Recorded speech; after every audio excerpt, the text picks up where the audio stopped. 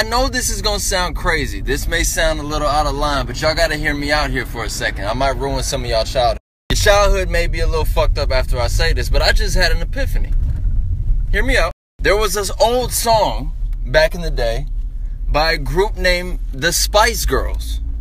Everyone remember them? They were from London. There was Scary Spice and Sporty Spice and Baby Spice and Posh Spice and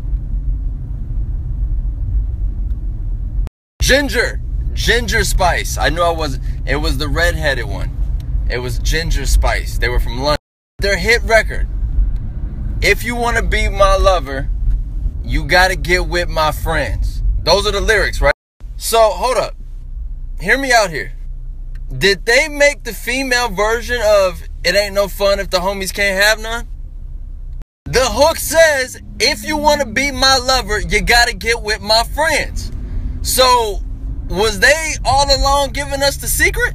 I mean to tell me this whole time, the Spice Girls had letting it be known, hey, I want some dick, but my friend probably gonna want some too? So you mean to tell me they, they was hip to game then?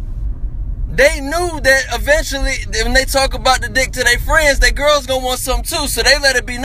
I'm tripping. I don't think I'm tripping.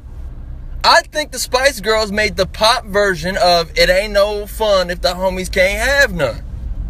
Know what we're gonna do? We're gonna take this conversation to YouTube. I'm gonna upload this entire video to YouTube, and you guys gotta leave a comment. Let me know if you agree or disagree with me.